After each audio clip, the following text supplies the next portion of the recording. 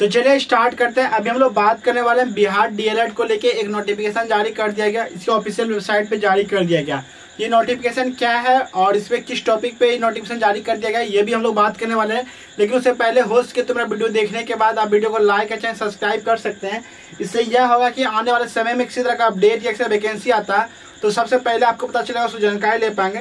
तो चलते हैं स्क्रीन से देखते हैं, उसे समझते हैं, इसमें क्या क्या जानकारी दे दिया गया और इसे हम लोग कैसे हम लोग इसे देखते हैं और समझते हैं। तो सबसे पहले यहाँ पे जो बिहार डीएलएड की तरफ़ से नोटिफिकेशन जारी कर दिया गया यानी बिहार विद्यालय परीक्षा समिति के, के तहत पटना की तरफ़ से जो नोटिफिकेशन जारी कर दिया। विज्ञापन संख्या की बात करते हैं पी आर दो सौ छियालीस बटे दो हज़ार चौबीस ये इसका संख्या है। अप्लीकेशन संख्या का नंबर है तो E R C N C E T E से मान्यता प्राप्त एवं विद्यालय विद्यालय बिहार विद्यालय परीक्षा समिति से संबद्धता प्रदत्त सरकारी एवं निजी प्रशासन शिक्षण संस्थान में प्रशिक्षण सत्र 2024 से 26 में नामांकन के लिए संबंध में डीएलएड संयुक्त प्रवेश परीक्षा 2024 उत्तीर्ण विद्यार्थी एवं संबंध प्रचार के लिए आवश्यक सूचना है। यानी डी डीएलएड 2024 से लेकर 26 के सेशन के लिए जो स्टूडेंट अप्लाई किए थे, उसके लिए खास ये नोटिफिकेशन जारी कर दिया गया। उसमें यानी कि प्रचार के लिए आवश्यक जो प्रधानाचार्य है, उसके लिए एक आवश्यक सूचना है। जो आज से संस्थान 2024 से 26 सेशन का एडमिशन लिया जाता है, उनके लिए खास ये नोटिफिकेशन है। तो नोटिफिकेशन आगे बढ़ा जाता है। मेंशन कर रहा है कि एतद द्वारा विज्ञापित संख्या पी आर जो दो सौ छत्तीस बटे दो सौ दो हज़ार चौबीस के क्रम में सूचित किया जाता है कि राज्य अंतर्गत डीएलएड राज्य अंतर्गत डीएलएड कोर्स संचालित ईआरसी e या एनसीटी यानी कि डीएलएड का कोर्स कौन संचालित करता है?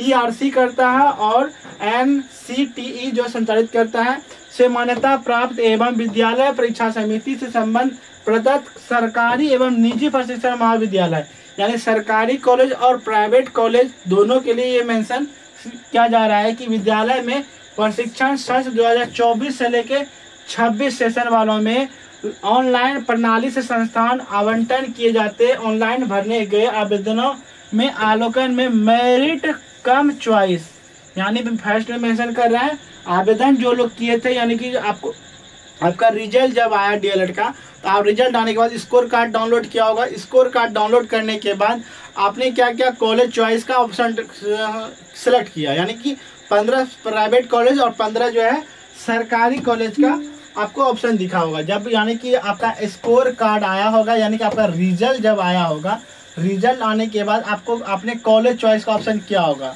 क्या क्या आपने कॉलेज चॉइस का ऑप्शन किया? जिसमें जब आपने कॉलेज चॉइस ऑप्शन किया होगा तो याद रहे आपने कुछ जो सरकारी कॉलेज आपको मिला होगा और जो कुछ जो प्राइवेट कॉलेज जो मिला होगा।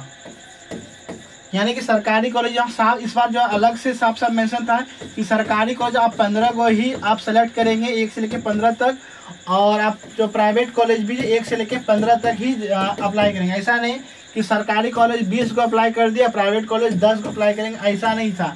आप सरकारी भी पंद्रह अप्लाई करेंगे और प्राइवेट भी जो है, पंद्रह अप्लाई करेंगे। ऐसा डायरेक्ट और साफ़ साफ़ मैंशन था। बस ये हो सकता है कि आप डिस्ट्रिक्ट सेलेक्ट कर लें कि कहाँ से आप करना चाहते हैं। यानी कि प्राइवेट जो है कहाँ से करना चाहते हैं, आप अपने हिसाब से डिस्ट्रिक्ट सेलेक्ट कर सकते हैं, बस इतना दे दिया गया था। वो उसके लिए यहाँ पे मेंशन है नोटिफिकेशन कि जो मेरिट लिस्ट जो चॉइस था, उसके आधार पर प्रथम चयन सूचित जारी करने जो तिथि थी, यानी कि प्रथम मेरिट लिस्ट जो जारी होने वाला था, कि आपका इस कॉलेज में नाम आ चुका है तो उसका जो है डेट दो सात दो चौबीस, यानी कि दो तारीख को जारी करने वाला था। यानी कि दो तारीख को ही फ़र्स्ट लिस्ट जारी होता। निर्धारित करती थी। को अपराधी कारण कारण, यानी रिहाई कारणों के कारण किया जाता है। यानी कि किस कारण से अभी देखते हैं कि बंद हो चुका है। तो दूसरा टॉपिक मेंशन कर रहा है कि प्रथम चयन सूची जारी करने की आगामी तिथि अगले से विज्ञापित के माध्यम से प्रसारित किया जाएगा। यहाँ पे मेंशन था कि दो तारीख को फ़र्स्ट मेरिट लिस्ट जारी होता। लेकिन किसी कारण बस जो इसे रोक दिया गया है। इसका अब अगला डेट आगामी डेट जो था, अगला डेट वो जारी कर दिया जाएगा। इसका कि आपका अगला फ़र्स्ट मेरिट लिस्ट कब जारी होगा, वो यहाँ पे मेंशन है। परीक्षा नियंत्रक विविक जो है डायरेक्ट पटना की तरफ़ से ये नोटिफिकेशन जारी है। आज का ऑफिशियल वेबसाइट भी दे दिया गया। इस वेबसाइट के माध्यम से इसका सोशल नेटवर्क जो होता है, यानी कि फेसबुक इंस्टाग्राम यूट्यूब वहाँ से भी इसका नोटिफिकेशन को आप देख सकते हैं, ये भी जारी कर दिया गया है।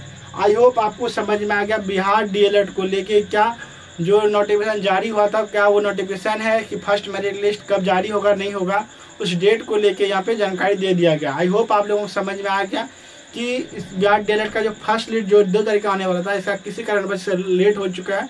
अब आपको जो किसी अगले डेट में यानी अगले आगामी डेट में आपको डेट बता दिया जाएगा कि आपका जो है कब फ़र्स्ट मेरिट लिस्ट जारी होगा। तो वीडियो को ज़्यादा से ज़्यादा शेयर करेंगे और इसी तरह का वीडियो की जानकारी आपको हमारे चैनल पर गवर्नमेंट को जितने सारे वैकेंसी होता है, सारी जानकारी आपको देखने को मिलता है। तो लेटेस्ट अपडेट लेटेस्ट वैकेंसी के लिए मेरे चैनल बने रहे, मेरे सब्सक्राइब रखें। तो मिलते हैं किसी और अपडेट के साथ, किसी और वैकेंसी के साथ। धन्यवाद।